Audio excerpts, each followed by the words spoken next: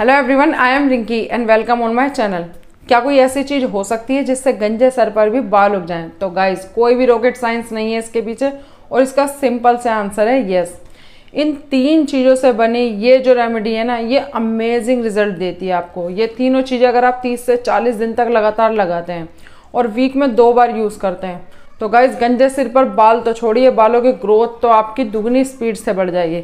अब आपको चाहिए कि आ, हमने तो बहुत सारे हेयर कलर प्रोडक्ट्स यूज़ करें और साथ ही साथ ऑयल भी यूज़ करें पर किसी ने भी वर्क नहीं किया। तो अभी तक नहीं किया होगा पर जो ये रेमेडी आप यूज़ करोगे 30 से 40 दिन बाद आप खुद फ़ोटो सेंड करना मेरे को और बताना कि कैसे छोटे छोटे बाल आपके उगने स्टार्ट हो गए। और गाइज़ ये देखिए यहाँ पर ये देखिए मेरे जो साइड के ये जो फ्रंट लाइन है यहाँ पर बाल बहुत कम थे।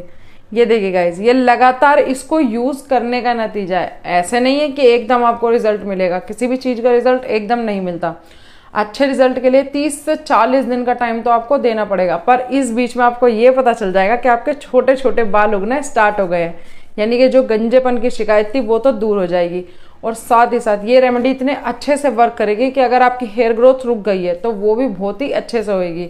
और इसके साथ गाइस थोड़ा सा अपनी नींद पर ध्यान दीजिए। कम से कम आठ घंटों की नींद अच्छी नींद लीजिए, पानी ज़्यादा पीजिए। और इसके साथ अपने जो आपके खाने की चीज़ें उसमें ऐसी चीज़ों का यूज़ कीजिए जो आपके बालों के लिए बहुत ही ज़्यादा अच्छी हो। जैसे कि फ़िश का यूज़ करिए।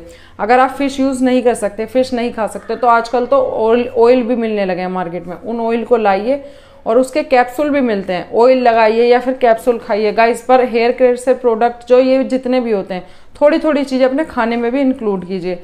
ताकि वो आपके अंदर से फ़र्क दिखाए। और जब आप ये खाने में यूज़ करेंगे और इस रेमेडी को यूज़ करेंगे तो गंजे सिर पर तो बाल छोड़िएगा इस बिल्कुल बेजान गंजा सर भी है ना, उस पर भी बाल ज़रूर आएँगे। और आप अभी मुझे कुछ मत कहिए, पहले इसको यूज़ करिए, उसके बाद अगर आपको रिज़ल्ट अच्छे ना मिले तो डिसलाइक कीजिए अनसब्सक्राइब भी कर सकते हैं। और अगर अच्छी लगे वीडियो तो लाइक कीजिए और सब्सक्राइब कीजिए। और साथ ही साथ कमेंट्स में मुझे ज़रूर बताइए कि रिज़ल्ट आपको कितना अमेजिंग मिले, क्योंकि मेरे को इस पर सौ प्रतिशत विश्वास है। अब गाइज़ अपना मैजिकल वाटर तैयार करने के लिए यहाँ पर हमें मेथी दाना चाहिए। आप इसको छः से सात चम्मच भिगो कर रखेंगे। अगर आप इसको भिगोकर नहीं रख सकते तो आप इसको उबाल कर भी यूज़ कर सकते हैं। पर कोशिश ये कीजिएगा कि कम से कम 10 से 12 घंटे आप इसको भिगो कर रखें, उसके बाद ही इसको यूज़ करें। क्योंकि इससे जितनी भी मेथी दाने की गुडनेस है, वो सारी हमारी इस मैजिकल वाटर में आ जाती है। और अगर आप नहीं कर सकते तो इसको उबाल भी सकते हैं।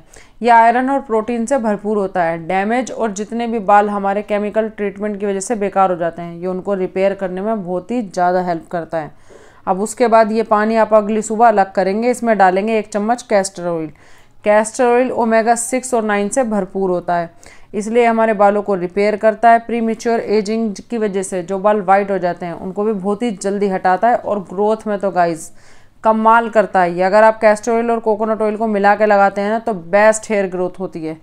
उसके बाद आपको गाइज़ क्या ऐड करना है इसके अंदर? कोकोनट ऑयल क्योंकि जब भी हम कैस्टर ऑयल लगाते हैं तो उसको खाली हमें अपने सर पर नहीं लगाना चाहिए, कुछ ना कुछ उसमें ऐड ज़रूर करना चाहिए। और इस वाटर की जान जो है वो यही है गाइज़ एक तो कैस्टर ऑयल और मेथी दाना और ये। गाइज़ ये तीनों ही चीज़ें बेस्ट रिज़ल्ट देंगी।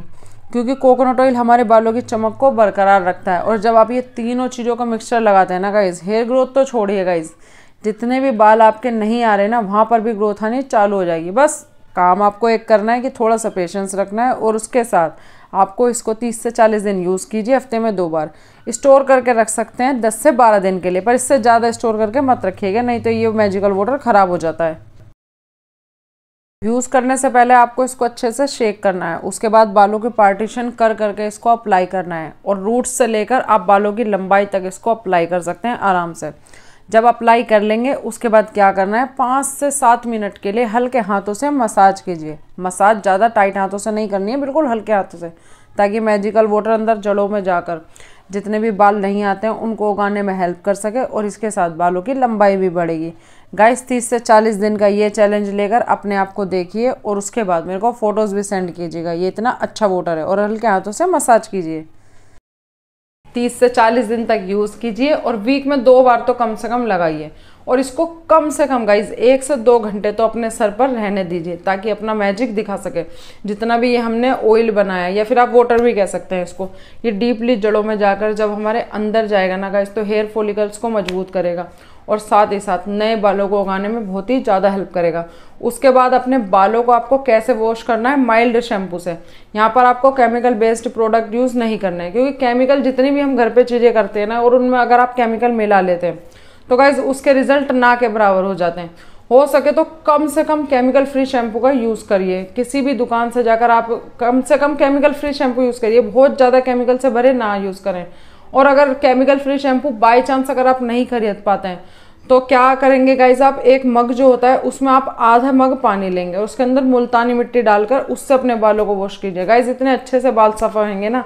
और पहले हम यही तो करते थे, मुल्तानी मिट्टी से अपने बालों को सफ़ा करते थे। इसलिए हेयर ग्रोथ में भी हेल्प मिलती थी और बालों की शाइन भी हमारी बरकरार रहती थी। और अगर आपको ये वीडियो अच्छी लगी तो वीडियो को लाइक कीजिए चैनल को सब्सक्राइब